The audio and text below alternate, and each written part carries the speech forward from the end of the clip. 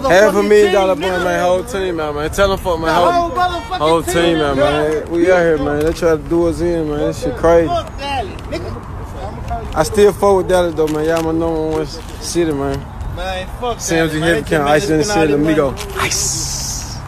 Half a million dollar boy, man. Whole Man, oh man, oh man, this about the funniest video ever that somebody recorded getting out of jail.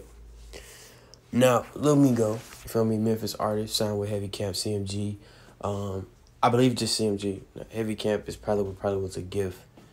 Um, I believe because that's a part of, I believe Blac Youngsta, but it's crazy, man. This is crazy. So, aside from the fact that he didn't bet, he bonded out his whole squad. Like how loyal that is. You feel me? How loyal that is for him to bond out his whole squad.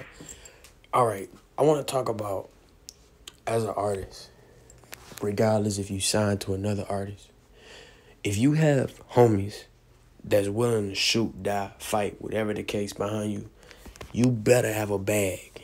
Like you better have a bag on tuck at all times. You better have a million dollars just for court fees, bond fees.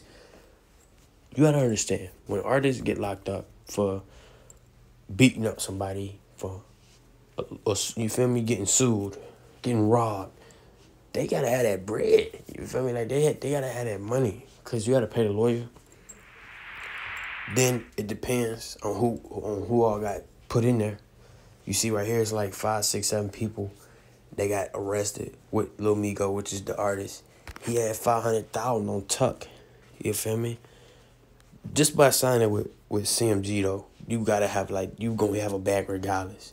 I don't know what the tricks and tips and you feel me what it what it is about it, but them boys are like they got that bread. You feel me? Like Blac Youngsta, Moneybagg Yo, like Yo got it. Like all of them, they having it. Feel me? You see him, newer artist, probably ain't even been rapping three years. buying out his whole squad for five hundred thousand. You feel me? That's real G. You feel me? That's real. That's what they call real. That's what real should be identified as. Nonetheless, how could one really be speaking on that? Feel what I'm saying? I don't know exactly what happened, the details.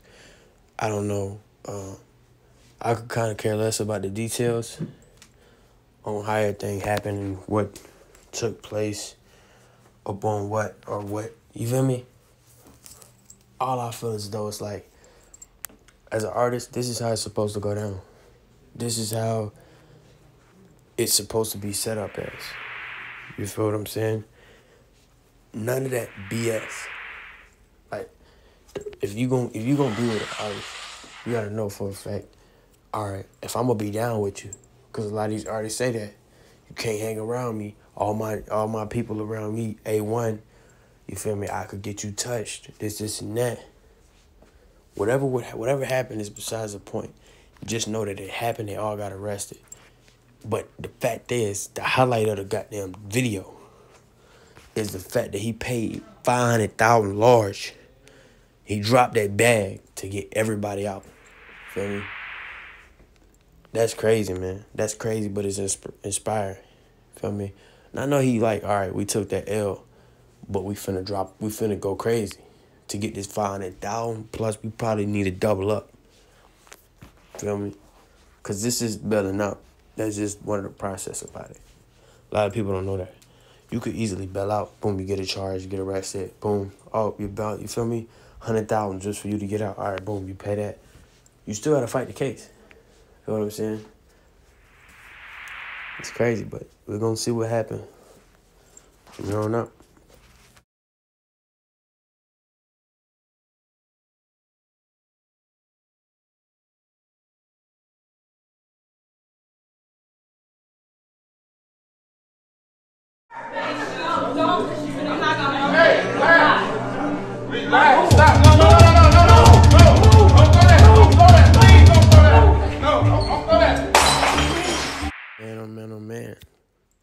Here we are again. Welcome back to No Cash. Make sure you leave like, comment, subscribe. We're talking about Blueface again. His OnlyFans reality show has surfaced Instagram again. And this time it's some girl that I think shouldn't be there. Now, when you do a reality show, Blueface, are you aiming towards I feel like at this point he have no discrim like nobody nobody is he don't have a certain requirement to getting in. You feel me? Cause it's a bunch of people that just don't get along with people that's inside of the show. You feel me?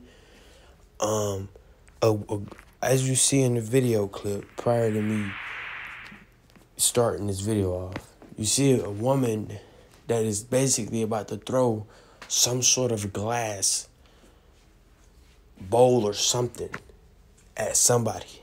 Now we don't see who she's throwing it at. We just see people basically saying, "Don't do it. It's not worth it.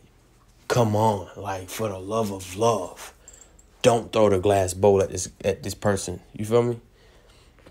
Yet she's just like, "Move, move." You feel me? Like if anything, all right, y'all two getting the gloves. If anything, feel me?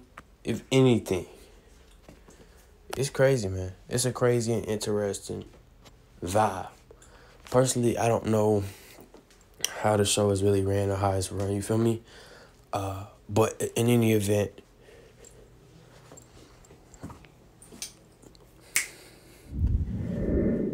in any event, I feel as though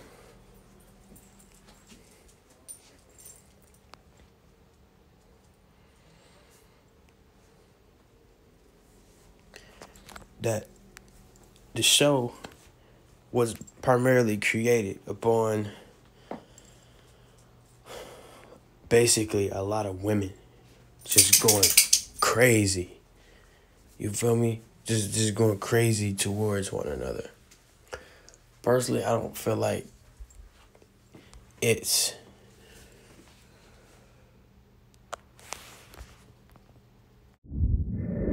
what kind of requirements is Blueface accepting? All applications, everybody get accepted at this point.